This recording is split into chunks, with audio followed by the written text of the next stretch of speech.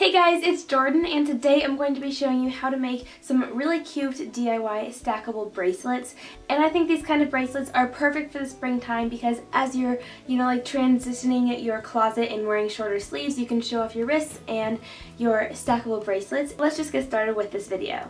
So for this first bracelet, you're going to need some colorful cording or hemp twine and some kind of rings or metal shapes for your bracelet. The ring that I had had a little loop on it, so I'm just cutting off the loop so I have a simple oval. Next, I'm going to be taking one color of the twine and folding it in half, and then I'm just looping it around this metal ring and looping the ends back through so that it's tied to this ring as you can see. And then I took another strand of the twine and did the same thing to the other side of the ring so that there's twine coming from both ends and then I just taped one of those ends down so I could work on each end at a time. Next I'm taking another strand of the twine and you're going to want to make this one about twice as long as the other strands and then just find the halfway point on that strand and tie a knot around the other ones as you can see. So once you tie a basic knot and it is set on your bracelet you're just going to be creating square knots. All you do is take one strand and create create a four with it or a backwards four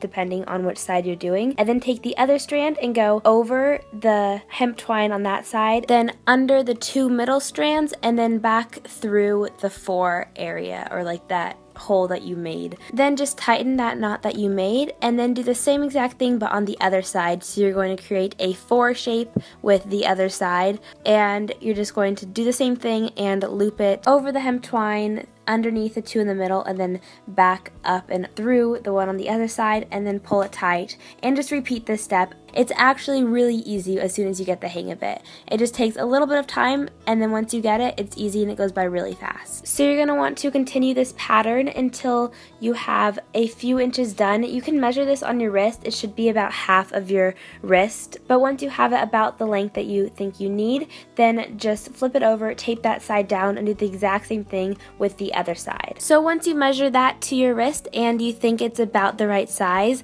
then you're just going to string the two outer pieces of hemp twine with a one of those thick needles so that it'll go through. And then you're just going to take that needle and kind of invert it and put it back up through the bracelet and so it hides the extra strands. And I just went up about four or five knots but it's kind of up to you however many you want to go and then just cut the excess off. And then finally to put it together you're going to overlap the two remaining strands on each side so that you will have four and then just kind of compress them together. And then take another another strand and tie a knot, um, combining those four together, and you're going to create another few stitches of the square knot here, and this will just make it so that the bracelet is adjustable. Once you have a few stitches done, then just do the same thing with the needle and pull it back up through the stitches so that you hide the ends, and then with the two extra ends on each side, just tie them in a little knot so that you can pull on the strings and the bracelet will be adjusted. That's literally And all the rest of the bracelets are even easier than this one. I think it came out so cute though. This is by far my favorite bracelet. For this next bracelet, that can also be a choker or an anklet or a necklace or really whatever you want. All you're going to need is lots of different colored beads and I just got these from Michaels and you can really choose whatever colors you want. And then you're also going to need some kind of stretchy string. So I always like to cut my string extra long just in case I need more. And then I am taping one side of it down. Then I'm just randomly stringing on the beads with the other end. And this is completely random. You could totally do a pattern too and it would look super cute. But I just kind of wanted mine to be a little bit more random. And I just made it however long I wanted. Then when I got to the end, I just tied it off and cut off the extra ends and it it's as easy as that. And I think I changed my mind about the last one being my favorite. I think this one's my favorite because it came out so cute.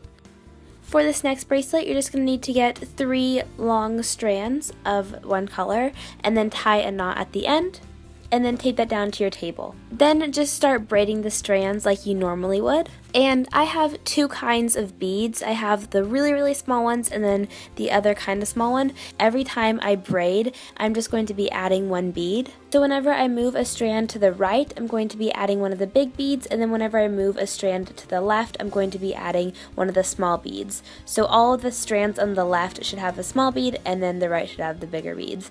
And then you're just going to braid that in normally, but just make sure that you keep the bead kind of where it is where you placed it. But as you see, I'm just altering the beads and adding them as I braid all the way down. And once you get the beaded part to however long you want it, then just braid the rest of the way back down to the end and tie a knot. And there's a bunch of ways to end this. You can add a clasp or you can use the method that we use for the other one so it's adjustable. But I just decided to tie this on my wrist as is and so it was one of those bracelets that you would just leave on even when you shower and everything and it would just fall off naturally. And I've had this on for a couple weeks and it still stayed on my wrist. And I went to the beach and the pool like every day and it still stayed through everything which is pretty awesome. So I just tied it on and I think it looks so cute so that was the end of this video, and if you guys enjoyed it, then don't forget to give it a thumbs up, and also don't forget to subscribe to my channel by clicking this button right here. Oh, and let me know in the comments down below what stackable bracelet was your favorite.